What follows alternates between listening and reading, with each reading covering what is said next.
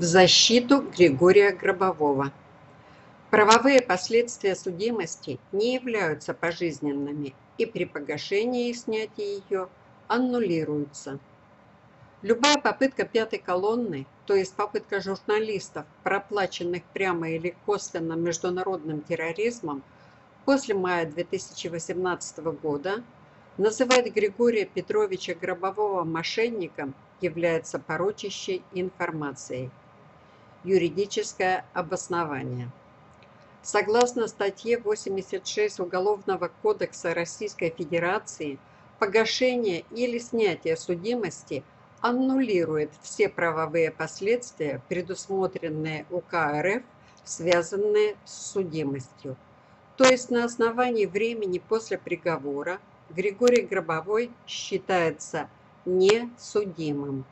Поэтому писать, что Григорий Гробовой мошенник, незаконно.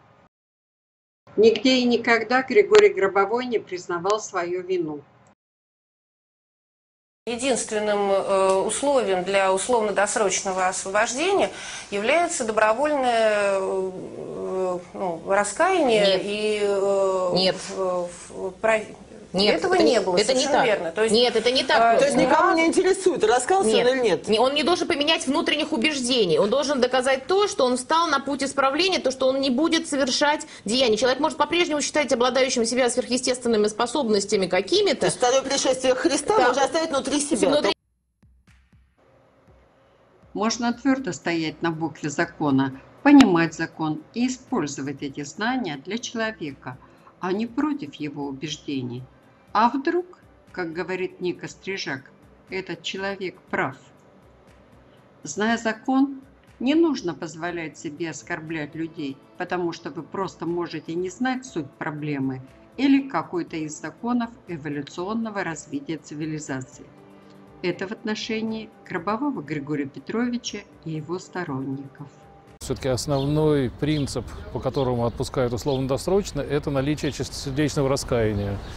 Как раз то, чего мы в Гробовом не видим. Таким образом, мне решение суда абсолютно непонятно. Сейчас уже не так важно, что думал тогда сектовед Дворкин, курировавший создание методик разрушения сознания всего населения России. Он делал это через Прокопишина и Кудеярову, которые использовали комплексную социально-психологическую экспертизу, чтобы незаконно посадить Григория Петровича Гробового. Вопреки мнению Дворкина, в России всегда были светлые силы, понимающие суть вещей, событий, суть информации. Давление на судебную власть оказывала именно так называемая «пятая колонна», менявшая идеологию России через доступные ей СМИ.